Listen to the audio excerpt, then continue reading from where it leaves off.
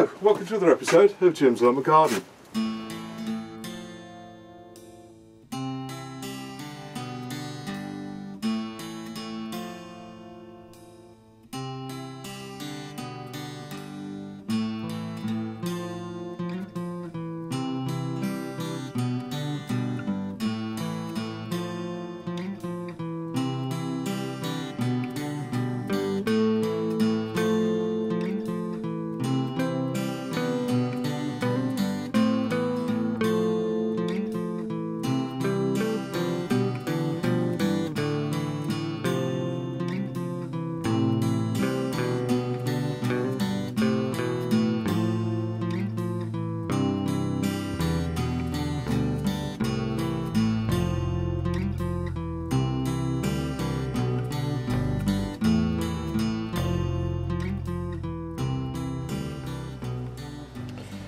Okay then, so continuing on with the um, with the seeds, what I did earlier earlier on this year was obviously save the. Um, I let the kale seeds run to run to seed, and obviously all you need to do is just leave them in the ground, um, and then the flowers obviously turn to these seed pods. And then all I did is took the took these um, sort of branches off, brought them inside, left them in the greenhouse to dry right out, and I did that about two months ago. And then basically what I did is took the seed pods off and then obviously what you can do is split. So what I find is if you take it from the, the, the sort of the stem end if you like and then just pull that open you'll see that inside you've got multiple sort of little little sort of spherical seeds. And if you do enough of them you sort of end up with um, sort of plenty of seeds like this. Now you don't need many of these to get the seeds you need. I mean obviously I plant around um, around sort of a dozen or two of these a year so you know, just a few of these seed pods will most certainly give you enough seeds. But the one thing you can say about brassicas is you can keep these seeds for a number of years. You know, you don't need to do this every year. Um, brassica seeds do keep for sort of three, three to four years. And you can tell if you're not sure about how long seeds will last, if you look at the seed packets, you'll see on there, you know, the year of purchase and the year, you know, when you can use them till. Um, but you find with most brassica seeds that they'll last for um, sort of four, three to four years. So these will do me for three or four years, so I won't need to do this again. I'll just keep these seeds. As long as you keep the seeds nice and dry um, in the house, and then obviously get you know sort of get plenty of seed then all of these will um, put these in an envelope you know like I've done with the others and then um, all I need to do then is keep them in a dark dry place um, and then obviously when I need them just bring them out and then sort of sprinkle them on exactly the same as you would do from seeds bought from the shop and then you can um, you know sort of grow the seeds. Now the one thing that you do need to do um, is if you are saving the seeds what you don't want to do is let any other brassica run to seed that are near them otherwise you're potentially going to get cross pollination. So as soon as they start to go into flower you need to make sure you've got no other brassicas anywhere near and that's obviously not on your own plot but also any any other plots as well. Um, the only other thing you can do if other people have got other brassicas is um, basically dig the plant up as best you can with leaving as much soil on it and then put the, the whole plant in an area another area of the garden or wherever where there's you know minimal cross pollination can occur. Either put it inside you know so which I guess is the extreme case or just put it to another sort of end of the garden. And then um, then you can uh, you know make sure that the seeds that you get are, are, are sort of sort of genuinely kale seeds as opposed to something else.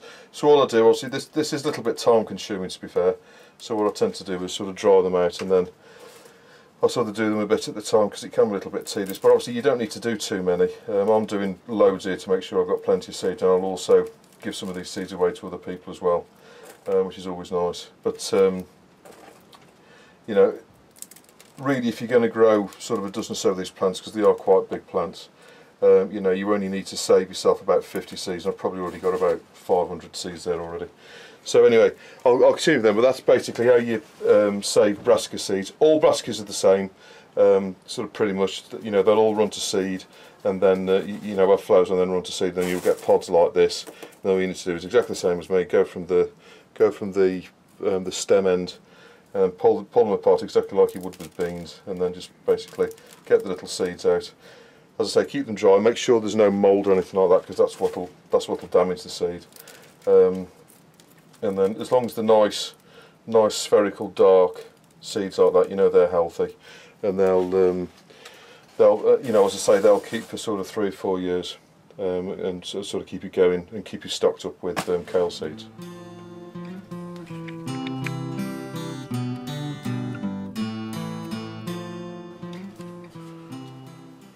Okay, so one other seed that we can be doing now are the uh, the French bean seeds. Now, all beans pretty much are the same. Obviously, runner beans or broad beans, anything. You know, you can keep the beans. So that's that's basically what we're after. Those are the beans. So all you need to do is um, save the save the seed, um, or, or in fact the bean off the off the plant like that. Wait till it's gone dry, and you'll be able to, you know, as soon as you hear it, sort of, you know, it's nice and crisp and dry, then you can hear the beans rattling inside what you need to do is obviously there's a seam up up the back, both sides of the um, bean. Just put your finger in there, and as you see, as you, as you pull it open like that, you'll see the beans inside um, there. So just pull the two apart like that, and then in each one you'll probably get about six, seven, eight beans. And then, you know, I I typically grow about a hundred of these plants a year, um, which is possibly more than I need. But what I always like to do is to um, grow plenty of plants so I'm always guaranteed of loads of seeds. So as you can see there are the, there are the beans inside the pod. All you need to do is go to the end with your thumb like that and then split the two split the two ends and you'll find all the beans will come out. And so you can very quickly fill um, you know a tub full of beans like that. Um, now with beans I would recommend that you only take enough for one year. These aren't these won't sort of keep for a number of years. So you, you, could potentially get two years out of them if they're properly dried and you store them away. But I would recommend that you that you save seed every year. Now these these actual seeds come from Frenchy, and I started to grow these around four or five years ago. Um, and I've only ever bought one lot of seed because every year I just save the seed like this and then I grow them on for next year. So with beans, really you only need to buy the seed once and then as long as you save your seed at the end of the year like this um, you know you can you know it saves you spending money buying more seeds because uh, you can just save your own seed and then but again in exactly the same way as I explained with the brassicas what you do want to do is if you are going to save the seed like this what you don't want to do is um, grow multiple types of beans close to um, to each other because what you can get is cross-pollination and then you'll get some kind of hybrid variety between the the beans that you've got there. I mean that that may be a, a good or a bad thing. You might want to experiment to see if you can come up with a new variety of bean. But basically, I I like to keep the varieties true if I can. Um, and so what I do is I only grow one type of bean and make sure because I grow these beans and also runner beans so I'll grow these at least 10 metres or so away from the runner beans. And then you know there's no or there's little chance of cross pollination as the insects go around the flowers. You know they won't sort of cross pollinate from the runner beans to these or vice versa. So anyway you just need to go through and sort of collect these beans. Obviously what all you need to do is make you know sort of collect the beans off as soon as they've you know sort of developed into the thicker you know so you know that the beans are actually developed. Wait for them to dry. Um, this year we've had good weather so I left these on the plant to dry. But, but obviously if you are having a wet wet year what you want to do is bring them inside spread them out single layered um, on a on a piece of newspaper or something like that in inside a shed or a greenhouse to just to dry out. And then as soon as they start to rattling you can hear the beans sort of rattling around inside. So you know it should be I don't know if you can hear that. You can hear the beans rattling around inside the pod then you know that they're going to come out. They're nice and dry as soon as you've got them all out like this, what you need to do is then put them in an envelope or a bag, uh, leave them in the house over the winter. Um, what you want to do is keep them dry, that's what you, you know, because any any sort of damp will, will sort of cause potential fungus or stuff like that to grow, which is your, which is your worst enemy. And then bring these out next year, and what I suggest you do is put um, one of these in each of your pots and then you grow away. You do find when you when you're saving beans, you do get pretty much 100% germination rate. Um, I find with things like brassicas, obviously you grow them in a in a tray, so you want to put multiple seeds in there. So I don't know what percentage rate you're going to get. You might get sort of I don't know 80 or 90, but with beans, you're pretty much guaranteed to get every one of these beans growing into a plant. Uh, what you can do is obviously put two or three beans in a pot if you really want to, but you can find that they get a bit overcrowded if you do that. So I'll just continue with these, um, and then as soon as I've got all these, as I say, I'll put these in a bag, take them down to the house, obviously mark them up, so you know what they are. If you've got multiple types of beans, and then uh, these will these will come out next spring, around sort of March, late March, early April time, to, um, to be put in some compost and um, grown into plants for next year.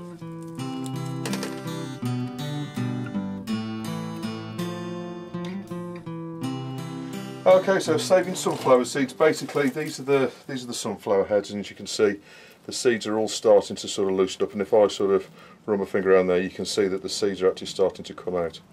Now, with with sunflowers, um, most certainly the um, your, your, your, your biggest enemy is fungus, because what you can find, if I just turn this over, you'll see, you can see that there's fungus starting to grow there. Now, what you want to do, if you can, is dry them so you've not got any fungus on. Um, and what I've done here is I've dried various um, flowers, but you can see all of them have pretty much got fungus on. Um, now what I what I tend to do is save the biggest flower, and then just just just by rubbing it like that, you'll see that the that the seeds come out. And obviously, if you if you save one this size, then obviously the you know you're going to get hundreds, if not thousands, of seeds from each one. I would say the germination rate for these um, is probably 50% um, if you save your own seed. So what you want to do is save plenty of them, and then just sort of as soon as the as soon as they start to release, you want to get them out. And then what I suggest you do is um, put them out onto a tray um, in the house, and you want to dry them out. Uh, you know, as, as, as, soon as you got them out of here. Um, you know, just to sort of do that. They do, do tend to go all over the place. But those are the seeds that you get out. And what you want to do is, on single layer um, in a in, in, a box or something like that, either in the greenhouse or in the house is better probably this year. Is so the seeds aren't touching each other if you can if you can get it like that. Put them in the house and let them dry out properly because what because what you want to do is avoid any um, uh, moisture because the moisture you know you know then going to um, turn into um, you know sort of mold or whatever on. So that's the that's the bit you want to avoid because that's what's going to damage the seed now. To tell if the seed's okay or not, what you want to do is if I just get one I'll show you. What you should be able to do is if you get if you get a seed like that and it's been properly po um, pollinated, if you squeeze the seed, it should feel nice and firm like there's a solid sort of kernel inside there. Now, um, those seeds most certainly feel like there's something inside. What you can get is the seeds feel flat um, as though there's nothing inside them and that's typically when the seeds haven't um, pollinated properly. So we'll see if they're like that, they're not going to grow again. So, you know, sort of don't bother saving them. Now, obviously there's loads and loads of seeds here.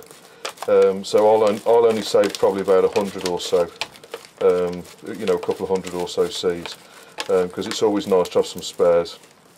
But because um, you can either give them away or you know, grow, you know, grow plants and give those away.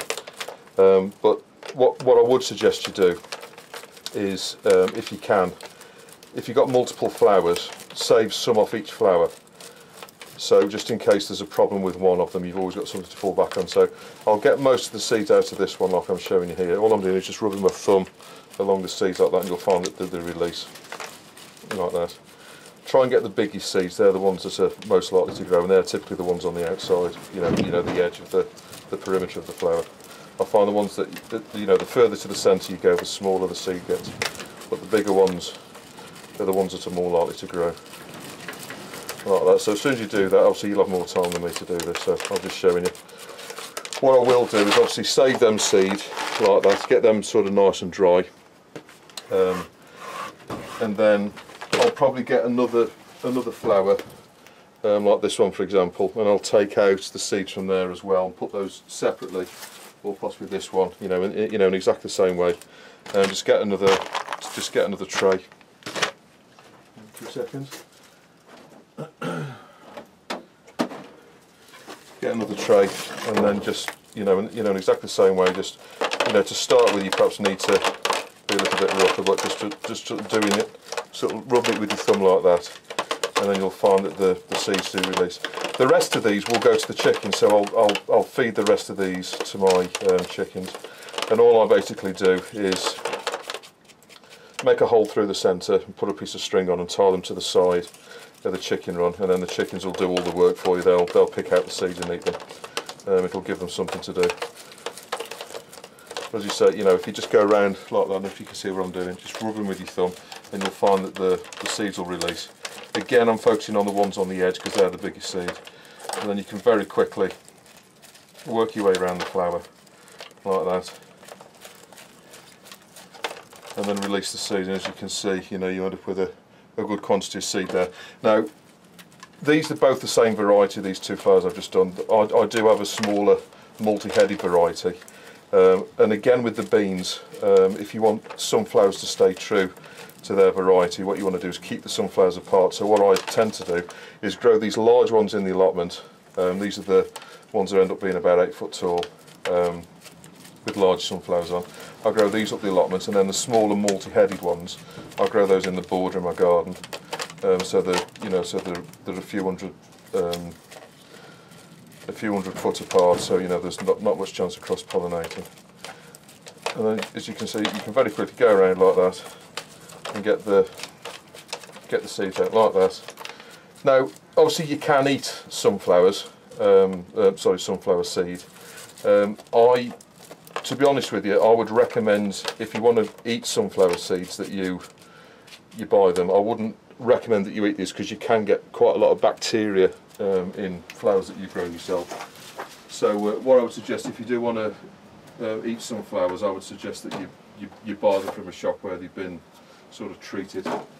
So I'm just going to bob those seeds in here.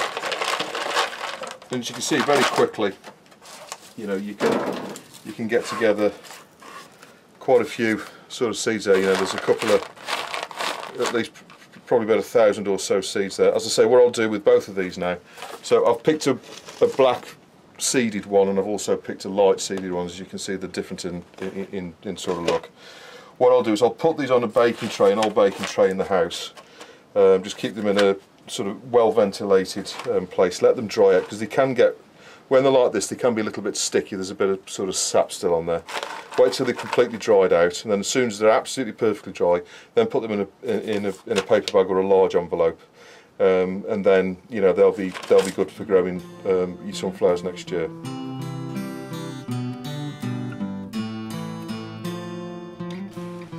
Okay, so I'll just give you a quick plot update. So this is the um, the larger greenhouse. As you can see, we're still getting tomatoes. The plants are looking a bit sorry for themselves now. Um, I have started to reduce the water, so I'm only watering them every other day now. But as you can see, we've still got plenty of tomatoes coming. So the, these are the um, these are the money maker tomatoes. You can see there's still plenty um, coming to the, the, the summer over here. So I'll be picking those in the next couple of days. Um, but they're still ripening. What I am doing is leaving plenty of ripe tomatoes in here at the moment. Then what they'll do is that'll encourage the others to um, to fruit. The um, the grapevine's pretty much done now as you can see. I've picked all the grapes off. It there is still the odd one um, grape here but we've had um, we've had about three kilos of grapes off it this year. So uh, the grapevine's done really well. And uh, that's the first greenhouse there's not much more to show. Uh, these are some Dom Pedro planter um, plants there but uh, that's pretty much what, what's going on in here right so sort of outside the um, the herb garden starting to sort of die back a little bit now. So what I will do is cut these hard back, um, sort of cut all this sort of dead wood off to expose the, the new shoots at the bottom. So this is the rosemary. Um, obviously mint, I'll take that down right the way down to the ground, so that will shoot up from next year. Um, this is the um, celery, as you can see. The celery's done really well. I've not shown you this for a couple of months, but the, um, the celery plants aren't doing too badly at all, as you can see. Um, you know, they are smaller than ones you get in the shop, but um, you know the, it's nice looking celery and it is really tasty. Um, these ones are a little bit smaller. They tend to have grown a bit bigger this side but that's the celery. So I'll be harvesting that over the next um, few months. Uh, right okay so over here we've got I can only apologise for the wind. Here we've got the um, asparagus. As you can see that's starting to go yellow now. Now what I need to do because the wind's picking up is I need to cut all this down to the ground now because you can damage the um, the roots if you're not careful. So what I'm going to be doing is chopping this down to about an inch or so above the ground and then I'll shred all this up to put back onto the garden. So that's the um, asparagus. The raspberries are um, still fruiting, we're still getting some raspberries on. As you can see there's some yellow ones here um, and then we've got some red ones over there as you can see. So the raspberries are still coming. The um, Most of the potatoes are now dug up Um, as you can see, I've dug, I've dug all this up, which is basically what I've been doing for the past uh, month or so. I've been sort of coming up and digging um, a row or so up, a, a row or so um, up when I've been when I've been coming up. So I've got a, a, full row here, and I've got some sort of end bits there, as you can see where the chickweed is. Um, so this will be sort of rotavated all over now, and then um, there's, there's there's some muck and stuff to go on. So I'll be uh, putting all that in. All of the um, sweet peas have been now taken out and um, gotten rid of. The brassicas, if I'm being brutally honest with you, the brassicas have not done well this year at all. Um, we've got some, we got some um, turnips and swedes down here, which haven't done too badly. But this is the this is the kale. As you can see, the kale's not done well at all, and the uh, those are the um, those are the um, uh, the cauliflowers, as you can see, not doing well. It's, it's not been a good year for brassicas at all this year, to be honest with you. And then this is the second lot of um, Calabrese. You know, there's a few heads on there, but, but largely speaking, it's it's um, really a bad crop this year um, for brassica. So we've done well with the seeds off them, but uh, the actual um, the actual plants themselves haven't done well. Here we've got the um, the parsnips, which will obviously start to crop in in uh, sort of a couple of months or so, sort of in December. Um, and then here we've got the remainder of the sunflowers, and uh, those are the um, kale plants that I took the seed from. This spinach here, I've had quite a lot run to seed, um, but what I've been doing is taking the seed heads off, um, the seed shoots off, and then sort of eating. But we have done well for spinach this year, to be honest. Um, right, just around here, I can only apologise for the wind. Um, in here we've got the spinach, as you can see, a lot of this is run to seed in the last couple of weeks. Um, I did cut all the tops off a couple of weeks ago, but as you can see, it's all gone again. And then the beetroot here, we've had a really good year for beetroot, but um, the spinach largely, this is spinach beet, and it's largely ran to seed this year, so um, a lot more than it has done normally. And that's not been because of watering, that's been because of the heat. It's been too hot for us. But anyway, that's the, um, second tunnel. Uh, in here we've got the, obviously the rhubarb's now gone over. Um, the, the beans that were here have been taken out, all the canes have been put back down um, in the shed to overwinter. Um, the um, are still flowering, so I've kind of left these in, but what I do need to do is collect some of the seeds, and these are the seed heads here.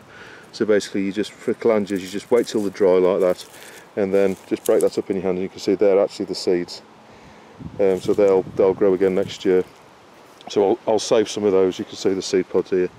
So just break them up and the, the, the like little um, sort of curly um, sort of worm looking things to be honest with you. But I'll save some of the seeds from there then dig all this over. Right, this is where the, um, um this is the Colucco. That's um, um, still growing so obviously I'll, I'll, dig the roots up from that. obviously this is the one that's in the nasturtium family as you can tell from the, from the leaves. But you eat the roots of those. Um, so I'll dig that up in a couple of um, weeks time. This is where all the pumpkins are, obviously the pumpkins have been taken up now, so all this needs to be um, dug over. Um, there's still um, quite a few weeds coming through, believe it or not this time of year, but uh, obviously this needs to be all dug out now and cleaned up. This is the uh, the runner bean um, canes here, and as you can see the, the, the runner beans are now running to seed, so I've left these to run to seed now um, in exactly the same way as the um, the other beans I'll be saving these for next year. But as you can see the, the canes are starting to go over a little bit now. Um, but this is the next lot of seed to be collected um, the runner beans then I'll obviously take the canes down. Uh, and then we're back on the other side of the, the potatoes. Also we've got these few plants here and then there's a full row here so I'll, I'll dig the rest of these out. The potatoes this year to be honest with you um, I would say I've had about um, I've had less than half than what I normally have out to the ground and that's basically been because the, the weather's been so hot uh, and dry uh, the potatoes haven't fully grown. The potatoes that I'm getting out are nice you know there's a good number of potatoes but they're all quite small. Um, but they are they are really nice potatoes nevertheless but there's no sort of jacket sized potatoes at all you know the largest one's probably about four inches across. But uh, I normally get around um, I normally get around about 300 kilos of potatoes out of here and this year I'll probably get about 150, possibly slightly more than that. Okay, on the fruit trees here, as you can see, the apples are most certainly ready to be picked now, so I'll, pick in, I'll be picking these apples later today. Um, the rest of them I need to sort of cut back and train these um, branches in. Um, but apart from that, those are the sort of fruit trees. Obviously, the the spring onions, these are the ones that we didn't eat, so uh, you know they've gone over now really. But um, that's the that's what the spring onions look like now. And then the the second greenhouse here, um, this is where all the peppers are. There's a few weeds growing in here, but uh, the peppers have done really well this year. Uh, I've had loads of peppers, but a lot of these are going over now. Um, as you can see, these have gone too far. But the what I'm going to be harvesting um, later today are the, the jalapenos. I've left these on the plant so they get a, a nice lot of heat. Um, as you can see, there's plenty of peppers growing in here, along with the weeds. Um, so what I'll be doing is picking the majority of these jalapenos now. And what I suggest you do is if you've grown as many as I have, obviously use them fresh if you can. Um, but if they've got to this stage where these just start to go a little bit soft, um, that's when you want to pick them. And all I do is just put your thumb through the top like that and take them off like that. And then what I'll be doing is chopping all of these up um, chop them up finely. And then I'll put those into a bag and freeze them. And then I can take them out bit by bit um, over the winter months to make chilies or curries or whatever you're doing. But I'll be picking the majority of these today. So that's what the peppers look like. Um, a lot of the sweet peppers we've picked out of here um, you know the larger sweet peppers we have had a really good crop. Um, so pretty much all of those have been picked now out of here. Um, but uh, you know they have done really well. What has done well are the uh, the mohawk um, horned ones which are here there's actually one green one here that's what they kind of look like a bit, bit bigger than that but they go bright red but we've been picking loads of them recently oh there's one large one here so they go they're sort of that kind of size and they go dark red when they're ready to be picked and uh, we've been eating loads of those um, over the past few weeks. But that's what the second greenhouse looks like. And then we're back to the beginning. So that's what the allotment looks like. So I hope this episode was of some use to you. Please don't hesitate to put any comments or questions you've got below and I'll always get back to you. And I'll see you on the next episode of Jim's Allotment Garden.